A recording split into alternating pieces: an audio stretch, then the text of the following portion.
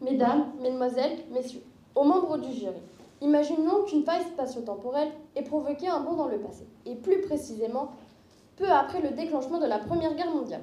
Je m'appelle Marie, jeune épouse d'un agriculteur, tout juste envoyée au front. Je viens de prendre connaissance d'un appel du président du Conseil des ministres publié dans le quotidien Le Figaro du 7 août 1914. Il s'agit, je cite, de terminer les récoltes de l'année et de préparer celles de l'année prochaine. Je remercie René, M. René Viviani pour ses conseils et ses objurations. Je ne souhaite pas être assimilée à ce qu'on appelait une fidèle Pénélope. Je vais prendre mes responsabilités aux côtés des 3 200 000 ouvrières ou femmes d'exploitants. Thibaut Dari, dans un article issu d'un hors-série de ce même Figaro, tient à préciser que les femmes dans le secteur agricole n'auront d'autre choix que d'user des outils inadaptés à leur taille pour labourer et faucher, tout en ayant à assumer, soudain, le facto les responsabilités de chefs de famille et d'exploitation. Nous sommes considérés comme mineurs aux yeux de la loi. Toutefois, comme le pays est au bord de l'abîme, on consent à nous respecter, à même faire appel à notre fibre nationaliste. Nous sommes patriotes grâce au cours de l'école républicaine et au manuel scolaire. Le tour de la France par deux enfants.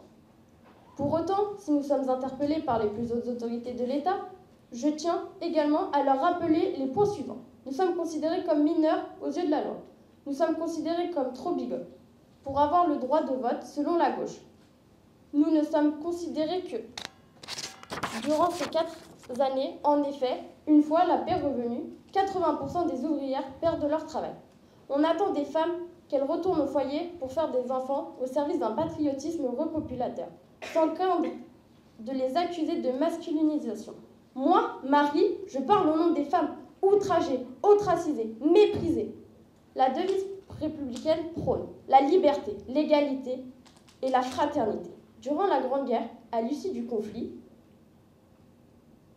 pour nous les femmes, ce triptyque semble théorique, ces valeurs proclamées, évanescentes et vides de sens. Evelyne Morin-Roturo, au début de son livre 1914-1918, Combat des femmes, nous ramène à un bien triste réalité, l'idée de guerre émancipatrice est en grande partie fausse. Mesdames et messieurs, les membres du jury, la série Les combattantes diffusée sur TF1 en septembre 2022 a abordé le rôle décisif des femmes durant la Première Guerre mondiale. Je tiens, dans l'auditorium de ce musée, à remercier Jean-Pierre Vernet pour son éclairage historique qui a permis à cette série d'écarter les erreurs et les anachronismes.